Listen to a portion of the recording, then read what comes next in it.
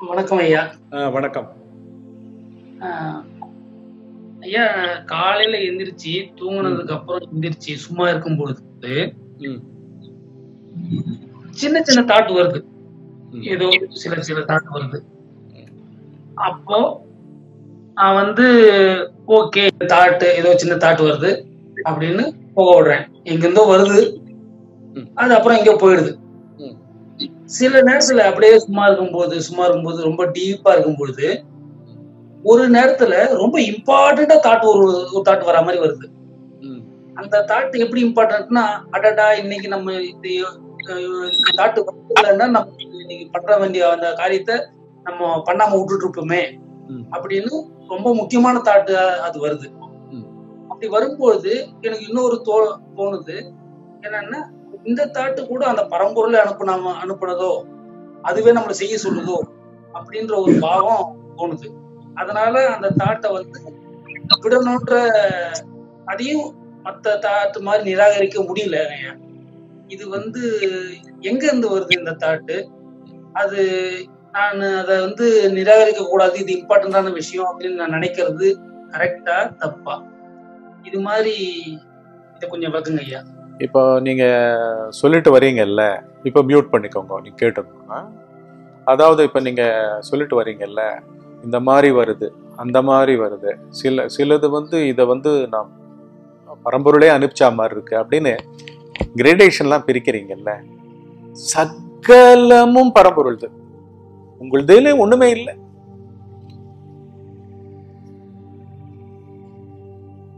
அது ஆழ்ந்த உறக்கம் ப்ரூவ் பண்ணிக்கிட்டே இருக்கு. இது அதுன்னு கிடையாது. சின்ன தாட்டு பெரிய தாட்டுன்னு கிடையாது. நீங்க நிறுத்துறதுன்றது கூட கிடையாது. இப்போ உங்களை நான் என் மூலமா இதெல்லாம் சொல்லி நீங்க என்னமோ அதை சாதகம் பண்ற மாதிரி பண்றதெல்லாம் கூட பரம்பொருள் தான்.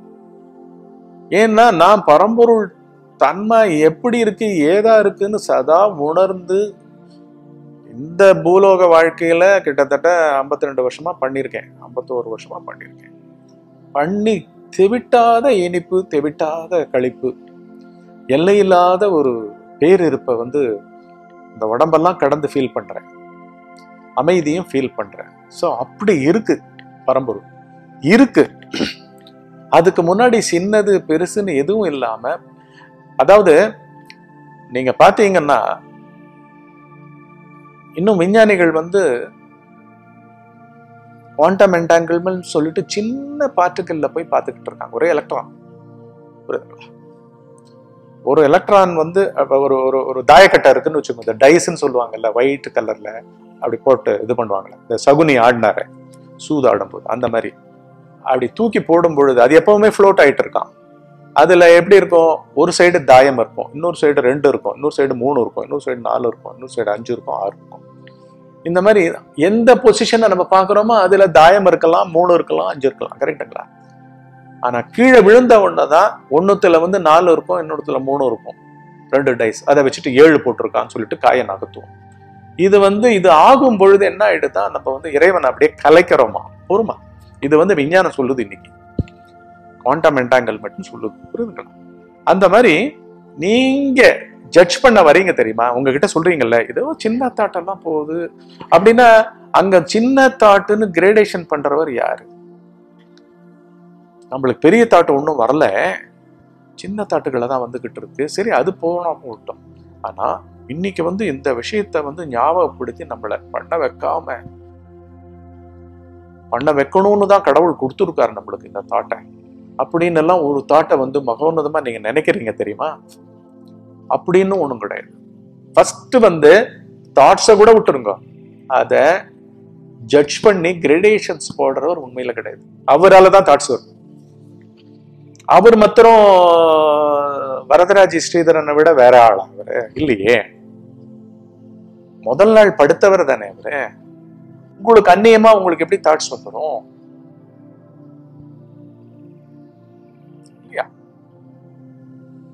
ஏன்னா மனம்ன்றது வந்து இந்த பிரபஞ்சத்திலேயே அவங்க சொல்றாங்க விஞ்ஞானிகள் தொண்ணூத்தஞ்சு பர்சன்ட் வந்து டார்க் எனர்ஜியும் டார்க் மேட்டருமா இருக்கும். Invisible universe invisible universe sixty seven percent வந்து டார்க் எனர்ஜி அதுல டார்க் மேட்டர் டார்க் மேட்டர்னா என்ன? இங்க ஒரு ஆட்டம் வந்ததுன்னா அங்க ஆன்டி ஆட்டம் இருக்கும். இங்க எலக்ட்ரான் வந்ததுன்னா அங்கே ஆன்டி எலக்ட்ரான் இருக்கும் இங்கே ஒரு ப்ரோட்டான் இருந்ததுன்னா ஆன்டி ப்ரோட்டான் இருக்கும் இப்படி எல்லாத்துக்கும் இருந்து அது வந்து இம்பர்சீவபிளாகவும் பார்க்கவே முடியாதும் புலப்படாததாகவும் ஒரு மா- விதம் விதம் விதமா இருக்கு இந்த பிரபஞ்சம். அதுல உங்களுக்கு சாய்ஸே கொடுக்கல.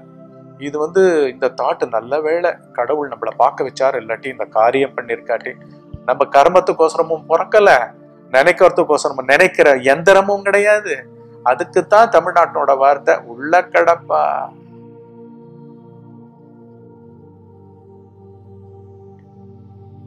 லேஸ்பட்டவங்க இல்ல. அனைத்து நாயன்மார்களும் ஆழ்வார்களும் உணர்ந்தவர்களும் ஞானியர்களும் வாழ்ந்த பூமி இது. லேஸ்பட்டவங்க அவன் நன்றி அணுவும் வசையாதெல்லாம் மெய்ஞான ஸ்டேட்மெண்ட் வேறுபட்ட ஸ்டேட்மெண்ட் கொடுத்துருவாங்க. தைரியமா நீங்க என்ன பண்ணுங்க? சின்னது பெருசுன்னு எண்ணங்களை பாகுபாடுபடுத்தி பிரிக்கின்ற வரதராஜிய தீர்க்கமா பாருங்க. யார் இந்த ஜட்ஜ்மெண்ட் போட்டுட்டு இருக்க? அங்கதான் நீங்க இறைவனை உணரணும். உங்களை அந்த வேலையை கூட பண்ண விடாம பண்ணி அவர் என்ன பண்றான்றதுக்கு நீங்க அவருக்கு சரண்டர் ஆகணும். புரியுதுங்களா? ஏன்னா உங்க சின்ன எண்ணமோ பெரிய எண்ணமோ அது வந்து அந்த அந்த பார்க்கின்ற பாவத்தினாலதான் அங்க உற்பத்தி ஆகுது.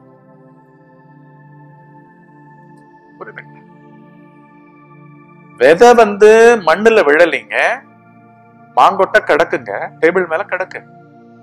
ஆனா என்னைக்காவது அந்த பஞ்சபூதங்கள்ல ஏதான ஒரு கான்ட்ராக்ட்ல ஏதோ தூக்கி குப்பையில போட்டு கூட விட்டுட்டீங்கன்னா குறுத்து வந்துடும்.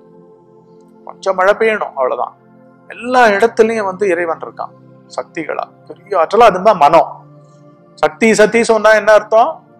ஒரு மாங்கொட்டை எப்படி முளைக்குது? அப்படியே ரெடியா இருக்கு அறிவு உள்ள. அந்த துகள் அறிவு கிடையாது. ஆனா துகளையும் ஊடுருவி ஆன்ம பொருள் அறிவா இருக்கு.